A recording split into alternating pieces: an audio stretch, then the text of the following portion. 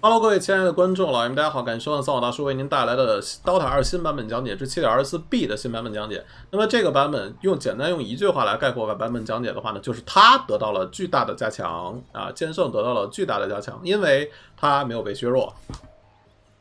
好了，我们来看正式的更新文档。首先来说一下，在这个版本当中，所有的英雄几乎都是得到了一个削弱啊，改动的英雄都是削弱。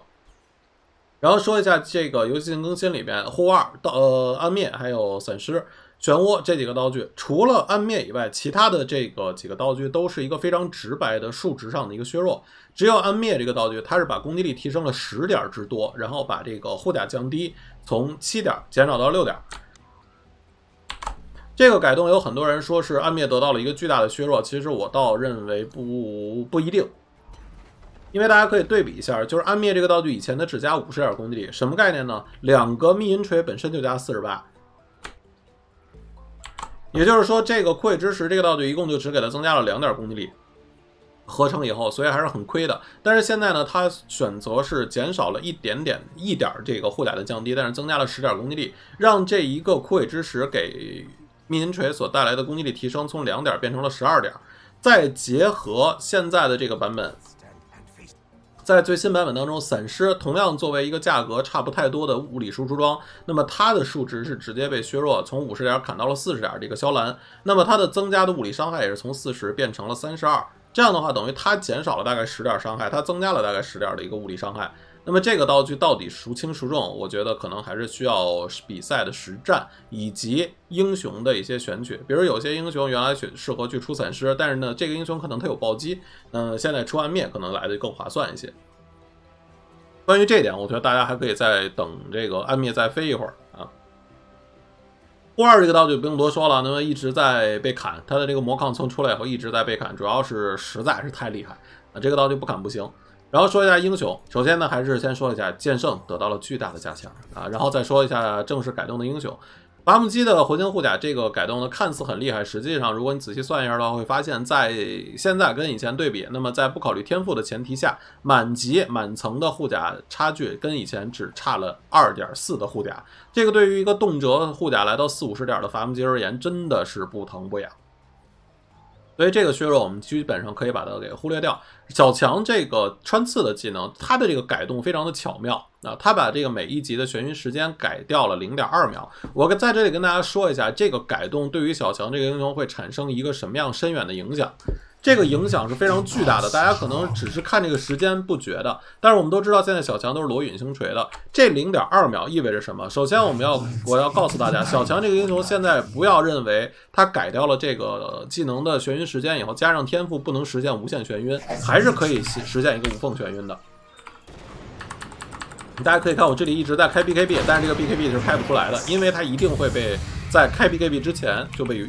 这个技能晕住，但是它为什么说改变的很巧？就是你现在如果想要去实现一个无缝的接陨星锤，需要有一个操作技巧，就是你需要离对方足够远，因为小强的这个穿刺它是有一个弹道速度的。这个技能在弹道出去以后，它就可以马上开始摇陨星锤，但对方的眩晕时间是从被穿刺起来的一瞬间就开始计算，所以如果你离对方太近的话，会因为对方过早的受到这个技能的眩晕影响，而让你的陨星锤没有办法实现无限无血呃无缝的一个眩晕。在这里给大家演示一下，这一波我就是可以开出来 BKB 的，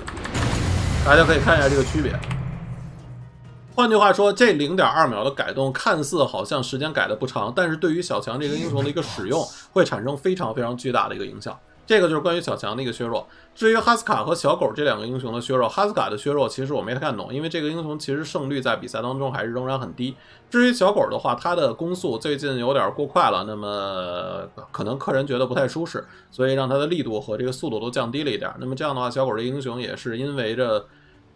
嗯，过肉的这个特点，那么得到一点点不疼不痒的削弱，实际上这个对于现在的小狗而言，真的影响不大，真的影响不大。你只要改的不是它的基础攻击间隔，只是去改掉它的一个基础的攻击速度，这个就没有什么影响。小小的护甲呢，由于以前的护甲太高了，再加上它投掷的这个施法距离过远，所以现在也是把它的长大大招的这个护甲提升去砍掉了一些，然后把投掷这个技能的施法距离砍了一些。但这个砍主要是针对前期的游走，也就是说大家可以看到满级其实是一样的。啊，三级的这个施法距离跟以前就只差五十了，但是一级差了一百五。这样的话，就让小小这个英雄像以前那样，我直接一上来一级跑到你这个塔后面，然后从很远很远很远的地方，尤其是对中路，我恨不得能够从这个你对方家的一塔扔到我自己家一塔这个位置，呃，然后让对方的英雄被击杀掉。现在就不能做到了，因为一级这个施法距离还是砍了很多。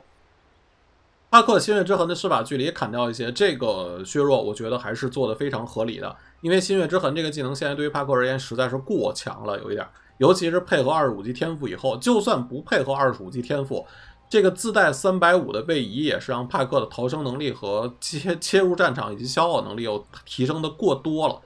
也就是说，在他的物理虽然被削弱了一部分以后，但是法系提升的有点变态，那么这个削弱还是可以接受。至于大鱼就比较惨了，对吧？刚刚火起来的一个英雄，现在深海重击的伤害也砍了，手绘冲刺要蓝了，然后大招的一个减甲也被削弱了。也就是说，他把大鱼这个英雄再次从一个热门英雄砍成了一个很有可能这段过一段时间就会变成无人问津的这么一个存在啊，因为他全面被削弱。当然，这大鱼这个英雄现在仍然可以上场，主要他可以上场的原因呢，不是因为。呃，他削弱的不够狠，而是因为没有英雄被加强啊，所以他可能还是有上场的空间，只不过不会像之前那么火了。老奶奶的削弱还是比较在点儿上的。龙眼饼干这个技能的眩晕时间呢，在满级的时候被削了一点点，前面的差距不是很大。蜥蜴绝吻的伤害从一级二百到减到了一百六，后边两级我们可以不看，后边两级可以不看，为什么呢？电绝手这个英雄本身升级就慢，它最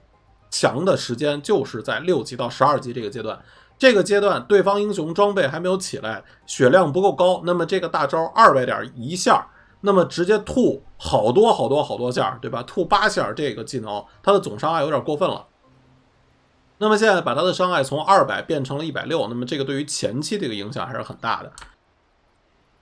这个影响并不是说现在老奶奶六级的时候大招就没有用了，它的问题不在于六级的时候没有用了，而在于老奶奶这个英雄到十级左右的时候，它的这个大招效果会收益非常低，因为那个时候对方的大哥位可能都已经到达了十五级啊，甚至更高的等级，甚至可能 BKB 都已经到手了。那么这个时候你的二级和三级大招对于战场上的一个实际影响不会那么巨大。应该说这个砍的还是比较在点上的。事实上，它其实只要把一级的这个伤害砍一点，后边两级不用砍这么多。呃，对于游戏的影响真的不大。小精灵，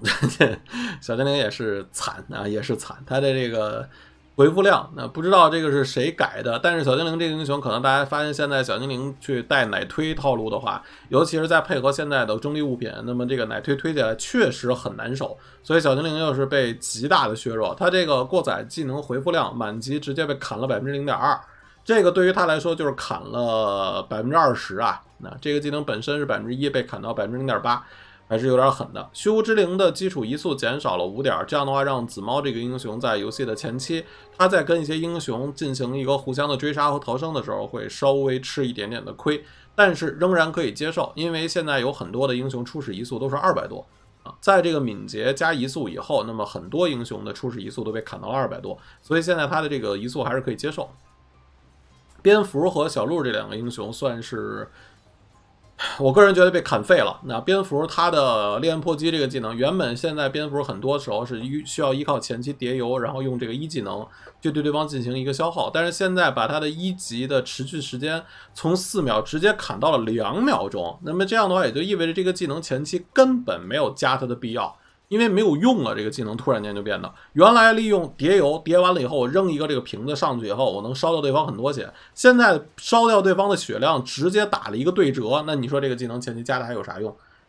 或者是你干脆就把它给加满啊？你前期就干脆主加它。然后呢，把这个技能尽早的去加到三级，这样的话它跟以前持续时间就一样了。或者你干脆给它加到四级，比以前持续时间还长。但是这个对于蝙蝠其实整个的一个使用思路和套路上会发生一个非常大的转变。至于效果最后会怎么样，我觉得还需要时间去印证。至于小鹿这个英雄，他原本初期的蓝量在现在这个版本当中就不是很够用。那直接把他推进这个技能的一级蓝耗从四十增加到了六十五，跟要他的命没什么区别。小鹿这个英雄未来可能不会再成为一抢的一个热门英雄，因为蓝真的不够用